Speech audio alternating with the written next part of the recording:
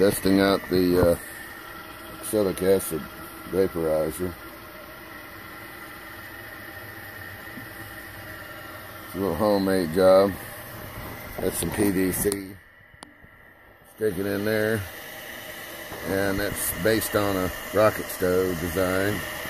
It's got a little uh, flexible hose going to propane tank.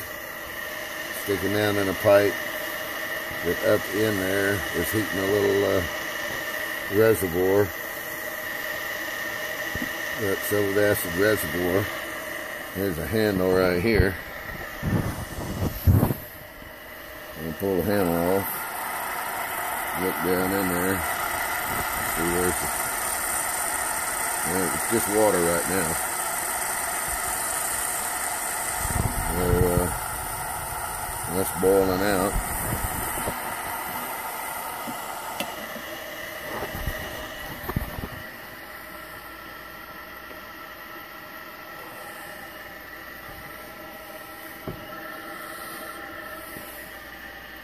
Uh, it's two pieces of square tube and I think an inch and a quarter. Got one welded on top of the other one.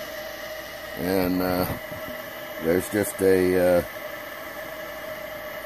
little cylinder piece of pipe with a cap welded on the end that goes right down through here down to the down to the bottom and then this torch is going into a little half inch piece of black pipe which heats up that cylinder. Cylinder comes up, heat rises, and goes into the uh, goes into the the front door of the hive. So anyway, and that's just a piece of PVC that's been heated and, and uh, melted and crimped down a little bit. We're just doing an initial test on it, just to see how it's. Alright, so.